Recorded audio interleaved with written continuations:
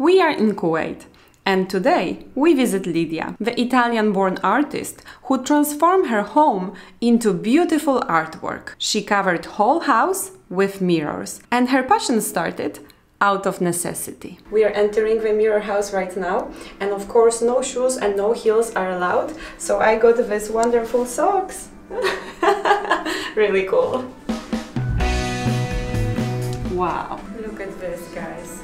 I'm just speechless. And here is Lidia. Yes. Hello Lidia. Hi. How So nice to meet you. time my husband was abroad, that thing needed paint. I looked for paint in the home, I couldn't find any. But I had a big mirror my daughter broke.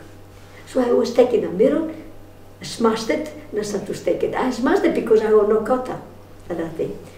So I was holding myself, I said, I only hope my husband likes it, because if he doesn't, I will be in trouble.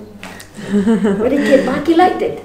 What started as act of necessity, it ended up to be the world of a fantasy. Everything is so beautiful.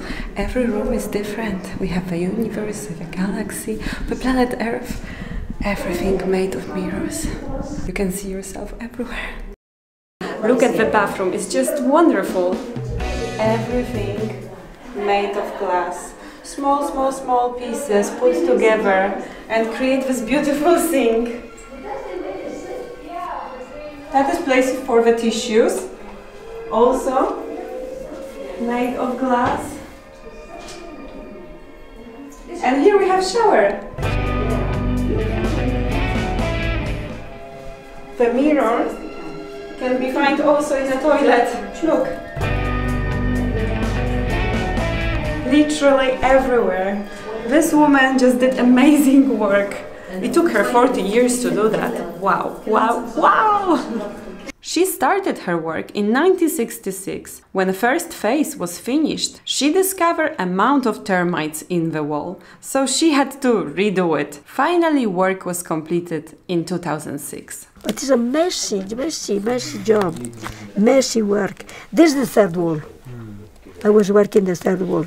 When my husband was taking me, I said, well, Khalifa, please don't take me. I'm in a mess. I said, Lidia, if I don't take you, nobody believes that you done it. And he keep doing it. I asked her a private question how old is she? And she told me that she's 85. Imagine mm-hmm. 85 years old and she is so full of energy, optimistic.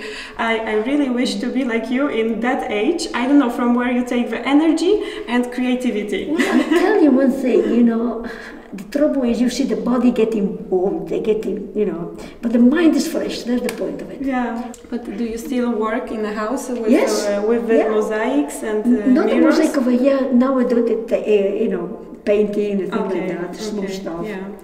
And But if there's anything uh, strong to make, I make it. On the second floor of the house, there is the studio with more artwork of Lidia and her husband Khalifa.